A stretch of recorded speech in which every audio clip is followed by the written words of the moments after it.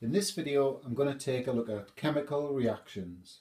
So we'll start by reminding ourselves what we mean by elements. So you can see it's written on the board there.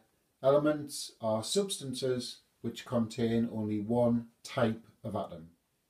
Hopefully you'll be familiar with the new term on the board, compounds. So these are substances that contain more than one type of atom that are chemically combined. So how do we go from elements to compounds? Of course, it's by chemical reactions. So now we've introduced what chemical reactions are, we'll look at the different ways elements can combine. So the first way we look at is between metals and non-metals. So the first thing we need to check is, do we know where the metals and the non-metals live on the periodic table? You can see I've added this red zigzag now. So we need to know that anything to the right of the zigzag, these are all non-metals, and anything to the left, these are all metals. Now hydrogen's a bit of a funny one. That's floating around in the middle there. This is a non-metal. So the example I'm going to use to explain how metals and non-metals combine is between lithium and fluorine. So there's lithium there at the top of group 1. Remember these are the groups with three protons and therefore three electrons. And fluorine is at the top of group 7. There it is there. And it has nine protons and therefore nine electrons. So before we start, we're going to need um, electron shell diagrams for lithium and fluorine. So if you pause the video and then I'll show you the answer. So there they are there. We'll start with lithium. Lithium's got a proton number of 3. That's what that 3p in red means in the nucleus. So 3 protons. And to keep the atom neutral. Remember, atoms must have no overall charge. It must therefore have three negative electrons. So we put two in the first shell and then one in the second shell. And that's the reason why this is in group one, because it's got one electron in its outermost shell or energy level. It's in period two because it's got two shells. So if we look at fluorine now, it's got a proton number or atomic number of 9, so 9 protons in the nucleus. To keep it neutral it needs 9 electrons, 2 in the first shell, 7 in the second outer shell. And therefore it's in group 7 and it's in period 2. Now the problem with these atoms at the moment is they're not actually very stable like this. And that's down to the fact that their outer shells aren't full. If you remember the group zero elements, the noble gases, they have a complete outer shell and that makes them very, very stable.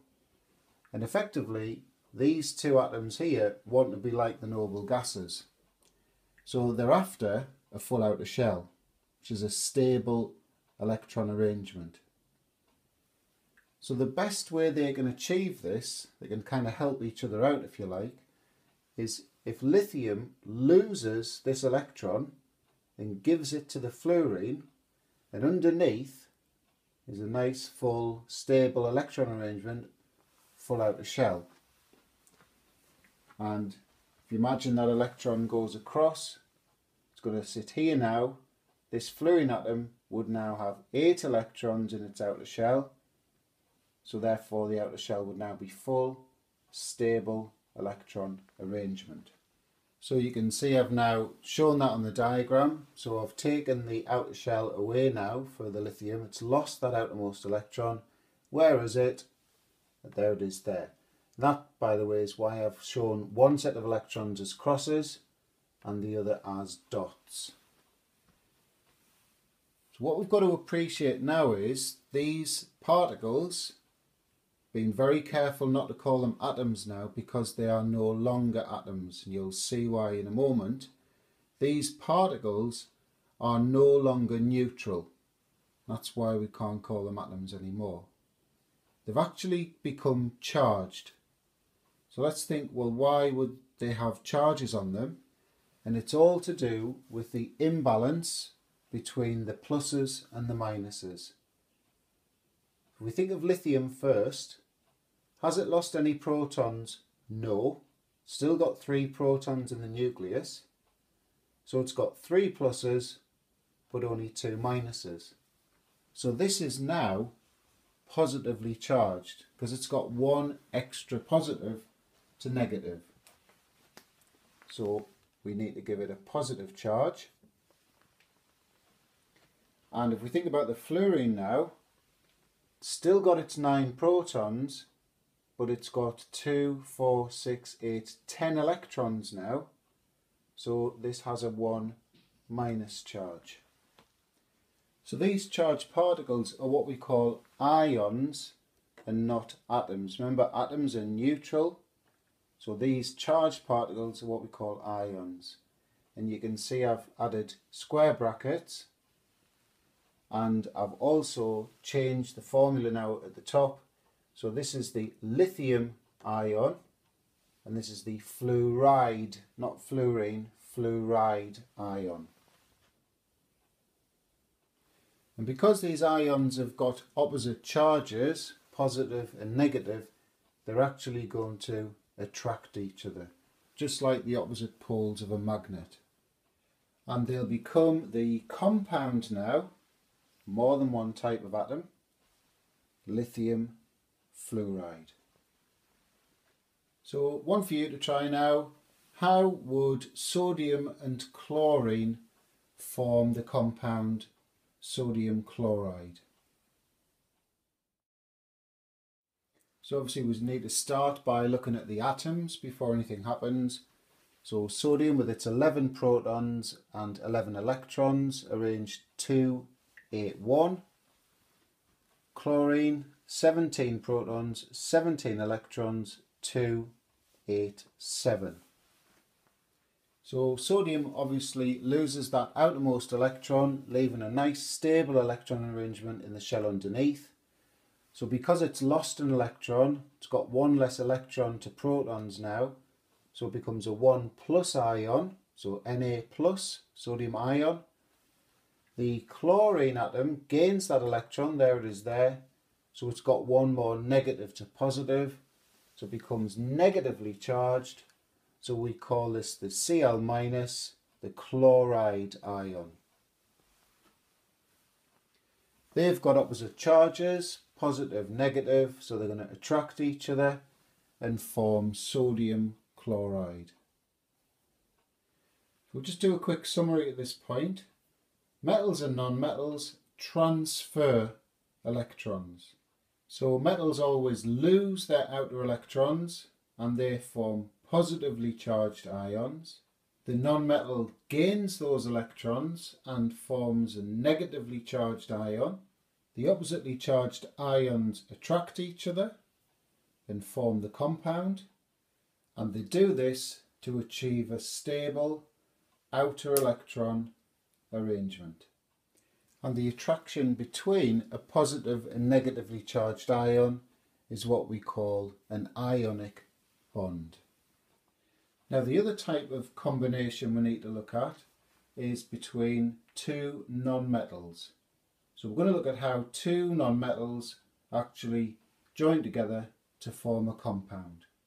And the example I'm going to look at is between hydrogen and fluorine. So there's the electron shell diagrams for the hydrogen atom and the fluorine atom. So how do these combine? So instead of transferring the electrons between the two atoms, like metals and non-metals, two non-metals actually share their outer electrons. So you can see what I've done is I've, I've overlapped the outermost shells and there's a shared pair of electrons there. So the circle belongs to the fluorine, the cross belongs to hydrogen. So because they've done this, the fluorine has now actually got a stable outer electron arrangement because it's got two, four, six, eight electrons. The hydrogen, remember this is the first shell, only needs two electrons. Well, it's got two electrons because the fluorine's kindly sharing that electron with the hydrogen. So this hydrogen atom now has a stable outer electron arrangement. So different to the metal and non-metal, when two non-metals combine, they actually share their outer electrons to achieve that stable electron arrangement. And they form what we call molecules. You can see I've drawn a, a loop around this entire thing now. So this is what we call a molecule. All a molecule is, is, is a small group of atoms that are held together by covalent bonds. So this type of bond here between the hydrogen and the fluorine, this shared pair of electrons, is what we call a covalent bond. And the compound formed, HF, is hydrogen fluoride. So one for you to try now to finish the video off. How would carbon and hydrogen, both non-metals, join together or bond together in a chemical reaction? And I'm going to give one clue. You need more than one hydrogen. So pause the video, have a go, and then I'll go through the answer. So if we start with a carbon atom, there it is with its outer shell of electrons shown, four electrons, and we'll take a hydrogen and overlap there. So you can see that the hydrogen is satisfied because it's got that stable outer electron arrangement of two electrons. Need another hydrogen and another one and another one. So in total we needed four hydrogens. The carbon's satisfied now because it's got eight electrons. And so this molecule, remember, non-metals form molecules with these covalent bonds between the atoms, would have the formula CH4 and you may note that this is methane.